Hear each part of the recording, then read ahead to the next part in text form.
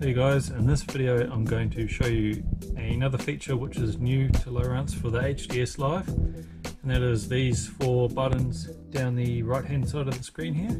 And what they are is they're called quick keys and basically you can assign them to any function that you want so that instead of pressing multiple times through the menu to say activate screenshot you can just press this quick key and it'll do it for you and you can customize them any way you want. And you can actually customize them as a short press and a long press. So the short press is obviously quick press like that and the long press is holding for a second. Basically once we press those we can get into the and as you can see once we're in the menu we've got the short press on this side. The pages button is actually considered a quick key as well because it only has two functions and obviously a short press of the pages key will open the home page and a long press will toggle the split screen window. So those are two functions that we don't actually need to take care of with the other keys. But if we choose button number one and for a short press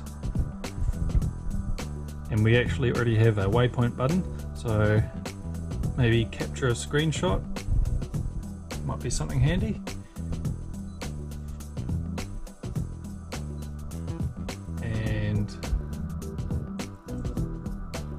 something else might be pause sonar.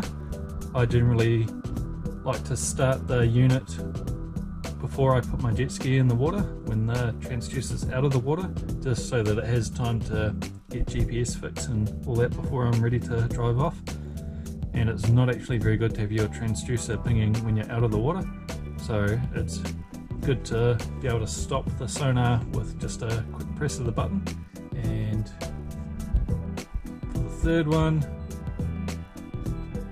just read through them here. So we've got capture screenshot, toggle split screen window, trigger man overboard, find place of interest, measure distance, maximize split screen window, pause sonar, log sonar, pause structure scan, toggle video source, system standby, power pole auto up, power pole auto down, audio mute, audio volume up, audio volume down, audio skip, trolling motor engage, trolling engage anchor, trolling engage heading hold, trolling standby, and then for the direct page sections there's favorite, sonar, chart, video and instruments. so we go back up here, another feature that I will probably use quite a bit since I film my fishing and make videos for you guys is log sonar.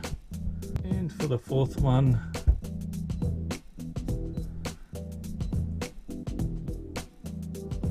I might make that just a full chart view.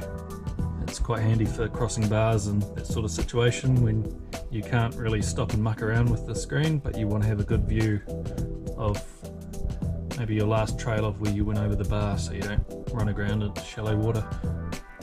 And same over this side.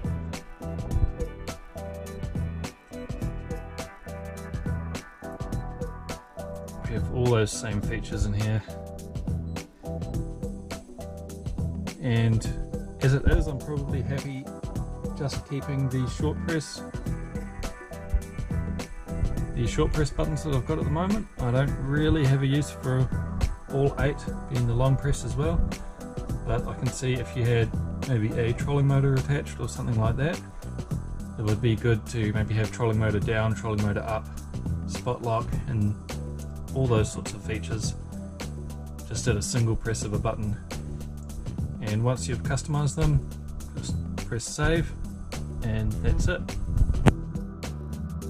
And obviously if you want to adjust these at any point in time you can go in here go to system and right here we have quick access keys and that'll bring you back to the same screen where you can edit any options. It's these four keys on the right hand side here and they're there just to make your life a little bit easier. So I hope you enjoyed that tip. Thanks for watching.